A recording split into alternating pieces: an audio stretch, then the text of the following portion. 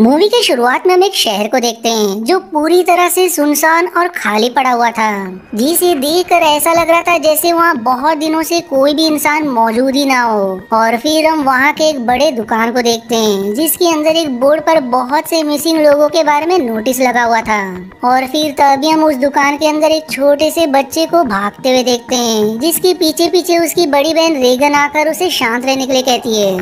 वहीं उसी दुकान में दूसरी तरफ़ उनकी माँ एवेलिन अपने बीमार बेटे मार्कस को बहुत ही सावधानी से एक मेडिसिन उतार कर खिलाती है। और उधर व्यू फर्श पर चौक की मदद से एक एरोप्लेन का चित्र बनाता है। और फिर रेगन को हाथों से इशारा करके प्लेन उड़ाने के बारे में दिखाता है। फिर वो वहाँ से उठकर एक अलमारी के पास जाता है, जहाँ पर बहुत से टॉयज रखे होते हैं। और वहीं ऊपर एक प्लेन भी रखा होता है, जिसे व्यू नीचे उतारने की कोशिश करता है। पर अंत में वो प्लेन उसके हाथ से छूट कर नीचे गिर जाता है, जिसे रेगन ज़मीन पर गिरने से पहले ही भागकर पकड़ लेती है। और तभी वहाँ पर उनके डैड ली आ जाते हैं, जिसे देख कर रीगन उस पेन को नीचे रख देती है और अपने डैड के पास आ जाती है, जहाँ ली उसे बहुत सारे टूल्स और रेडियो सिग्नल्स को कनेक्ट करने के लिए एक डिवाइस को दिखाते हैं। और तभी वहाँ पर एवेलिन मार्कस को लेकर आ जाती है और ली को घर चलने का इशारा करती है, क्योंकि थोड़े समय में अंधेरा होने वाला था। पर तभी वहाँ पर ब्यूज प्लेन को लेकर आ जाता है, जिसे देख कर सब लोग घबरा जाते हैं। तब ली ब्यू को समझाता है और उसे उस टॉय को लेकर उसकी बैटरी निकाल कर अलग कर देता है और फिर सबको घर चलने का इशारा करता है। पर तभी रेगन ब्यू को बिना बैटरी के प्लेन से खेलने के लिए कहती है और उसे वो प्लेन भी दे देती है। जिसके बाद सभी लोग उस दुकान से बाहर आ जाते हैं। लेकिन ब्यू बाहर आते समय उस बैटरी को ले लेता है और फिर सभी उस शहर से अपने घर की ओर जाने लगते हैं। अब यहाँ हम देखते हैं कि उन्होंने अपने आने जाने के रास्ते में बालू और रेत को फैलाकर रखा है, ताकि उनके चलने का भी आवाज़ ना हो। जिससे अब वो सब चलते चलते जंगल में पुल पर आ जाते हैं, जहाँ भी सबसे पीछे चल रहा होता है। और तभी वो एक जगह पर रुक कर उस प्लेन में बैटरी लगाकर उसे चालू कर देता है। जिससे वो प्लेन आवाज़ करने लगता है, जिसे सुनकर ली, एवेलिन और मार्कस बहुत ही बुरी तरह से डर जाते हैं। अब यहाँ में फाइनली समझ आता है कि रेगन सुन नहीं सकती थी, और तब ली बी को बचाने के लिए भागते हुए उसके पास आता है। लेकिन तभी जंगल की दूसरी तरफ़ से एक बहुत ही भयानक और डरावना एलियन प्लेन की आवाज़ सुनकर बी उन पर हमला कर देता है और फिर अंत में उसे मार डालता है, जिसे देखकर सभी लोग सहम जाते हैं और एविलिन दुखी के मारे रोने लगती है। अब इसके बाद हम इस घटना के लगभग 400 दिन बाद का समय देखते हैं, जहाँ पर पूरे धरती पर बहुत कम ही लोग बचे हुए हैं। उन्हीं में से ली और उसका परिवार भी अपने आप को उन एलियन से बचाकर सेफ़ रखी हुई थी। और अब ली अपने घर के हर रास्ते पर कैमरा लगाकर नज़र रखता है। जिसके बोर्ड पर उन एलियंस के बारे में लिखा होता है कि ये एलियंस देख नहीं सकते, पर वो हर छोटी सी छोटी आवाज़ को भी दूर से सुन लेते हैं। और उस आवाज़ पर वो हमला करके उन्हें अपना शिकार बनाते हैं। और ली ने अपने एरिया में तीन एलियन के होने के बारे में भी उस बोर्ड पर लिखा था। और फिर वो अपने कमरे में रेडियो सिग्नल की मदद से अलग अलग जगह पर कम्युनिकेट करने की कोशिश करता है, पर उसका सिग्नल किसी से भी कनेक्ट नहीं होता। वहीं दूसरी ओर हमें पता चलता है कि एवेलिन अब प्रेग्नेंट है और जल्दी उसकी डिलीवरी की डेट आने वाली है। इसलिए वो अपने आने वाले बेबी के लिए कपड़ों का खिलौना और एक बॉक्स में ऑक्सीजन सिलेंडर को लगाती है, ताकि बेबी के रोते समय उसे उन एलियन से बचाया जा सके। उधर शाम होने पर ली एक टॉवर पर चढ़कर आग जलाता है, जिसके बाद उसे जंगल में दूर कहीं जगह पर आग जलता हुआ दिखाई देता है। जो लोग अब भी उन एलियन से बचे हुए होते हैं, इसलिए रोज शाम अपने एरिया में आग जलाते हैं। अब इसके बाद बिना कोई शोर किए सभी डिनर करते हैं और फिर मार्कस और रेगन ज़मीन पर डाइस गेम खेलते हैं, जहाँ पर मार्कस से गलती से एक लैंप नीचे गिर जाता है, जो एकदम से टूट जाता है, जिससे थोड़ी देर के लिए शोर हो जाता है, और फिर वहीं पर आग लग जाती है। तब ली जल्दी से उस आग को बुझाता है और सबको चुप रहने का इशारा करता है, पर तभी उनकी छत पर कबूतरों के उड़ने की आवाज़ आती है, और फिर थोड़ी देर बाद किसी की चलने की भी जिससे सभी एकदम डर जाते हैं। फिर ली खिड़की से बाहर देखता है और तभी उस छत से दो चूहे नीचे गिरते हैं, जिसे देखकर उनका डर शांत हो जाता है। अब इसके बाद ली रेगन के लिए ईयर मशीन बनाता है, जिससे वो सुन सके और तभी वहाँ पर एवेलिन आ जाती है और ली के साथ हेडफोन लगाकर म्यूज़िक सुनती है, जिसे दोनों भी बहुत एंजॉय करते हैं। फिर अगले दिन ली किसी भी खतरे के सिग्नल के लिए हर जगह रेड बल्ब लगाता है और रेगन को बेसमेंट में जाने से रोकता है।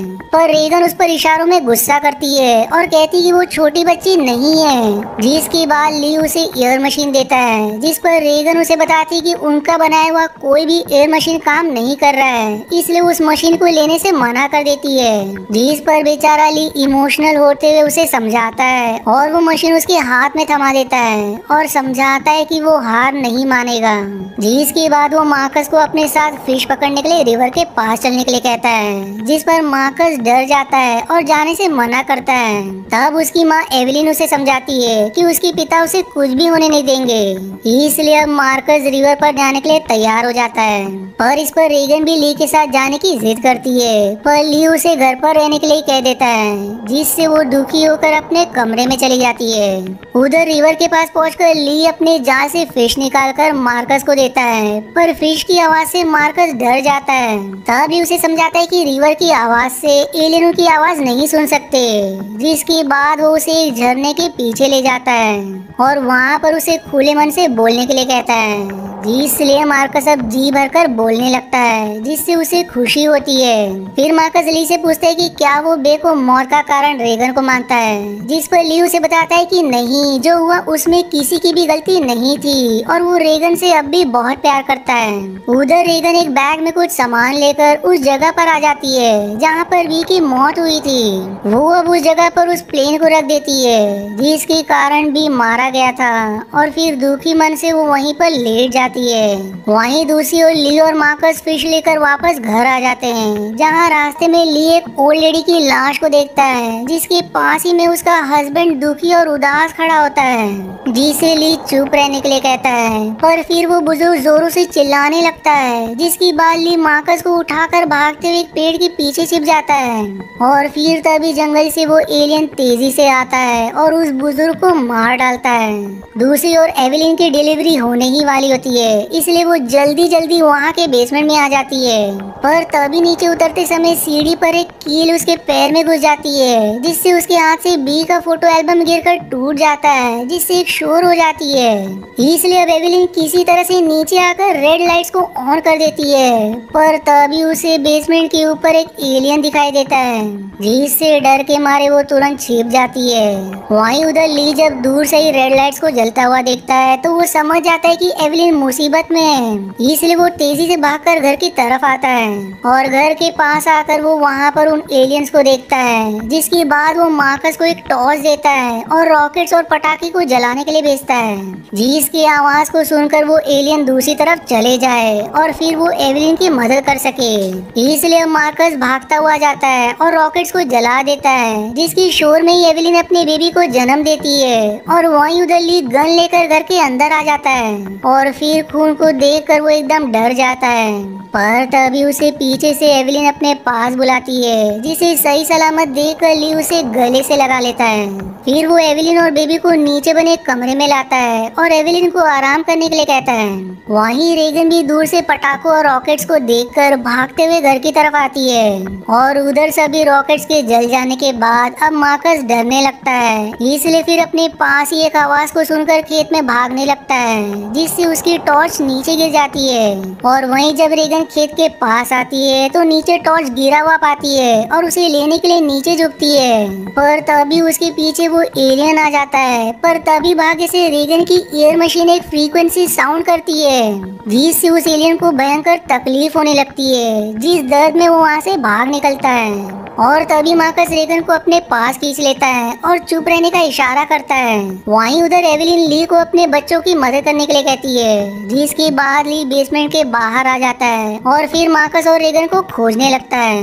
वहीं अब मार्कस और रेगन टावर पर चढ़कर आग जलाते हैं, पर वो आग थोड़े ही समय में बुझ जाती है, जिससे दोनों बहुत दुखी और निराश हो जाते हैं। और उधर बेसमेंट में अब पानी भी भरने लगा था, जिससे एविलिन जाग जाती है, और तभी वो उस पानी में एक एलियन को देखती है, जो कि उसकी बेबी की तरफ़ ही आ रहा था। इसलिए अब एविलिन किसी तरह से अपनी बेबी को उठाकर ऊपर से गिर रहे पानी के पीछे छिप जाती है। जिसके पास आकर एलियन उनकी आवाज़ सुनने की कोशिश करता है, पर पानी की आवाज़ से एविलियन बच जाती है। उधर ली दोनों बच्चों को खेत में खोजता है, पर उसे उनके बारे में कुछ भी पता नहीं चल रहा था। और यहाँ टॉवर पर अचानक से मार्कस के नीचे का दरवाज़ा टूट जाता है। जिससे वो उसके अंदर रखे मक्के में ही गिर जाता है, जिससे आवाज़ हो जाती है। और तभी दूसरा दरवाज़ा भी टूटकर नीचे गिर जाता है, जिससे ली को पता चलता है की टॉवर पर कोई है। इसलिए अब रेगन मार्कस को बचाने के लिए मक्के में कूद जाती है, पर वो खुद उसमें नीचे फंस जाती है। पर तभी मार्कस उसे किसी तरह से बाहर निकालता है।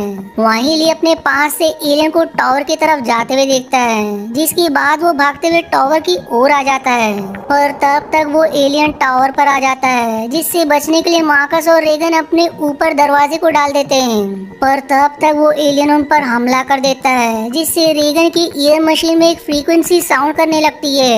जिससे उस एलियन को फिर से तकलीफ़ होने लगती है। इसलिए वो वहाँ से भाग निकलता है। जिसके बाद अब दोनों अपने पिता ली के पास आ जाते हैं, जिन्हें एवलिन कैमरा की रिकॉर्डिंग में देखती है। ली अब मार्कस और रेगन को पाकर बहुत खुश होता है, पर तभी उनके आसपास उस एलियन की आवाज़ आने लगती है, जिससे वो एकदम डर जाते हैं। तब ली मार्कस और रेगन को एक ट्रक में जाने के लिए भेज देता है और खुद एक कुलाड़ी लेकर खड़ा हो जाता है। इसलिए अब वो एलियन ली पर ही हमला कर देता है जिसे देख कर मार्कस ट्रक से बाहर आकर अपने पिता को आवाज़ देता है। जिससे फिर एलियन उनकी ओर ही चला जाता है और उनके ट्रक पर हमला कर देता है, जिसे कैमरा में देखकर एवलिन सहम जाती है। पर तभी घायल ली किसी तरह से खड़ा हो जाता है और फिर इशारों में ही रेगन को व्यक्त करता है कि वो उसे बहुत प्यार करता और हमेशा ही उससे प्यार किया है। जिसे देख कर रेगन की आँखों में आँसू आ जाते हैं और फिर ली उन दोनों की जान बचाने के लिए बहुत तेज से चिल्लाता है, जिससे अब वो एलियन उनके ट्रक से उतरकर ली की तरफ़ आ जाता है, जिसका फ़ायदा उठाकर मार्कस ट्रक का ब्रेक हटा देता है,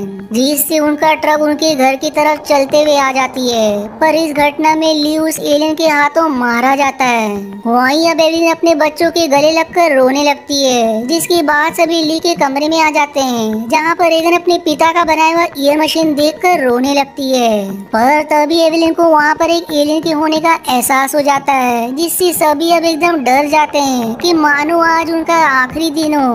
इसलिए अब एविलिन अपने हाथ में एक गन ले लेती है और तभी उनके कमरे में वो एलियन आ जाता है और फिर उनकी शोर को सुनकर उन्हें महसूस करने की कोशिश करता है। पर तभी रेगन की एयर मशीन से फ्रीक्वेंसी साउंड निकलने लगती है, जिससे एलियन को बहुत तकलीफ़ होती है। जिसके बाद फिर रेगन वहाँ पर एक बोर्ड पर देखती है कि एलियंस की वीकनेस जानने के बारे में उसके पिता ने लिखा था, जिसे पढ़कर रेगन समझ जाती है कि ईयर मशीन की फ्रीक्वेंसी एलियंस की कमज़ोरी है। इसलिए वो ईयर मशीन की फ्रीक्वेंसी को बढ़ा देती है, जिससे एलियन तड़पते हुए पूरी तरह से पागल हो जाता है, जिसके शोर के कारण फिर छोटा बेबी रोने लगता है, जिसकी आवाज़ सुनकर अब वो एलियन उसकी ओर बढ़ता है।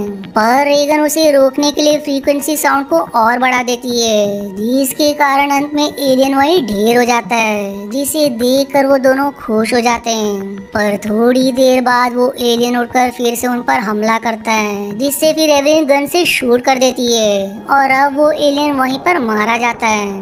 अब इसके बाद एवलिन और रेगन कैमरा की रिकॉर्डिंग में देखते हैं कि दो और एलियन गन की आवाज़ सुनकर तेज़ी से उनकी तरफ़ आ रहे हैं। इसलिए अब वो दोनों हिम्मत और बहादुरी दिखाते हुए रेगन फ्रीक्वेंसी साउंड के लिए मशीन की पावर को बढ़ा देती है। और फिर एवलिन अपने गन को रिलोड करती है, ताकि वो उन एलियंस का सामना करके अपनी परिवार का रक्षा कर सके। और इसी इनकम्प्लीट एंडिंग के साथ ये पार्ट वन यही समाप्त हो जाती है। अब अगर आपको इसका आगे का पार्ट देखना है तो इसका लिंक आपको आई बटन या डिस्क्रिप्शन में मिल जाएगा। और अगर नहीं तो इसका एक्सप्लेनेशन में जल्दी करूँगा।